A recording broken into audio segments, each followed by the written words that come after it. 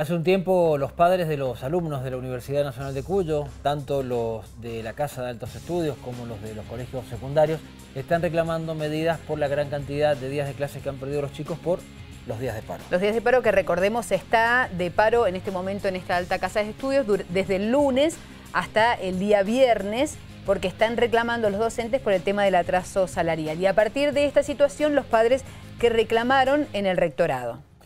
En sesión extraordinaria, el Consejo Superior del Uncuyo buscó una salida a este problema por los días de clases no brindados debido a la protesta que llevan adelante el gremio de docentes universitarios. Los padres están principalmente preocupados por la educación de sus hijos, mientras que los docentes aseguran que cada educador sabe qué contenidos priorizar, por lo que sí se podrían brindar esos contenidos en menor tiempo si este paro tiene un tiempo mucho más, eh, se extiende.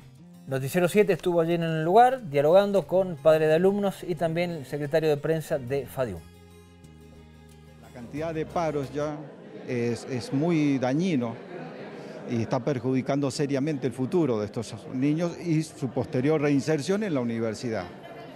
Eh, debido a esta problemática, es que el rectorado ha decidido llamar a una sesión extraordinaria del Consejo Superior para tratar pura y exclusivamente este tema y tratar de encontrar entre todos una solución. Las medidas eh, votadas hasta ahora son de esta semana y hasta el sábado, pero eh, lo que se votó fue eh, evaluación en el Congreso Nacional, en, en el plenario de secretarios generales en Buenos Aires el viernes, para lo cual el jueves a la tarde vamos a tener una asamblea para elaborar un mandato según lo que opinen nuestros afiliados. ¿Hay probabilidad de que continúe el paro la semana que viene?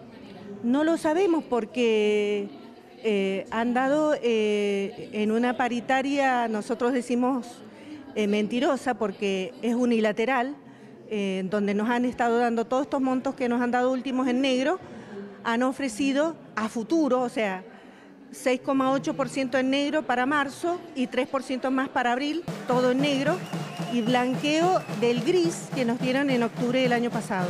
Los docentes tenemos mucha experiencia y sabemos cómo hacer para solucionar cuando hemos tenido menos días de clase. Siempre eh, hemos tenido que salir nosotros a resolver el problema, nunca lo han resuelto desde afuera.